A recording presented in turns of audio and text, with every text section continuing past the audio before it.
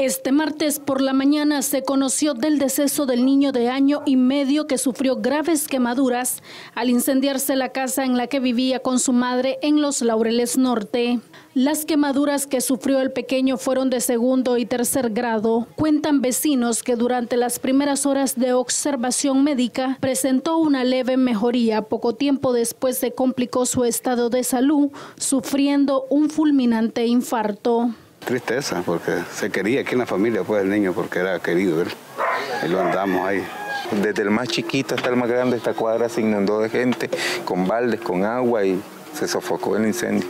Y lograron sacar al Y logramos sacar al niño, que era lo que, la tarea principal, pues entrar y sofocar el y sacar al niño.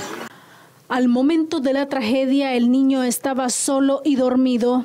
Su madre había salido a realizar unas diligencias y ante la falta de energía eléctrica dejó una vela encendida, por lo que se cree que esto haya originado el incendio.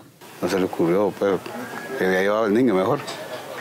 Descuido, digo yo, pues salió la mamá, a según dejó una candela, pues porque no había luz. Eso es lo que estamos y digo que eso debe andar haciendo la policía investigando. ¿Quién quiere un mal para su propia sangre, su propia carne? No. Ya pasó, ya pasó.